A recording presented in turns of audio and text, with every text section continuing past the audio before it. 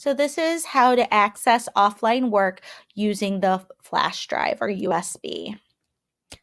So the first thing you're going to do is open the Chromebook and in the lower left hand corner you're going to click browse as guest. Then on the right hand or left hand side of the Chromebook, you're going to input the flash drive into the port.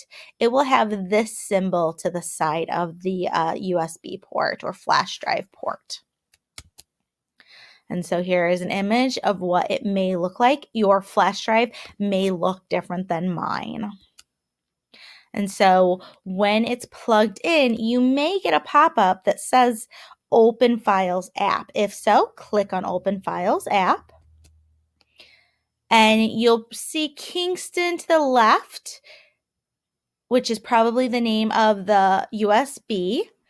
And then over to the right are the files. And so your child's folder will have their initials, OB for outbound, meaning leaving the school and coming to home, and then for the week. So this is for April 15th through the 22nd. You also may have 22nd through 27th or so. So choose what week's work you want to open. And then inside the selected folder, will have the files that your child needs to access for the week. Now, when you're done accessing the files, you do need to remove the flash drive safely. So to the right of Kingston, the name of the flash drive is this little eject icon or button. And so you need to click that. It ejects the flash drive so that you can safely remove it. So once you no longer see Kingston, you can pull the flash drive out of your um, Chromebook. Now, what if you didn't have that pop up appear in the lower right hand corner? So here's another way you can access um, the files on the flash drive. In the lower left hand corner, click on the little launcher, which is that little circle, and then click on Files.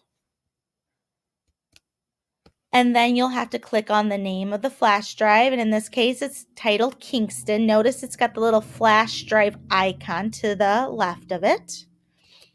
And then it's going to show me all the files to the right that are on my flash drive.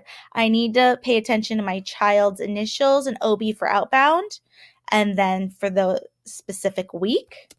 And then I can access any of their files for that week and again, when I'm done, I need to be sure to safely eject the USB by clicking on the little icon to the right of the USB's name or the flash drive's name, Kingston. So I'm going to click on that. And then when the flash drive is no longer appearing in the files window, you can pull the flash drive out of your Chromebook and safely uh, store it so you don't lose the flash drive.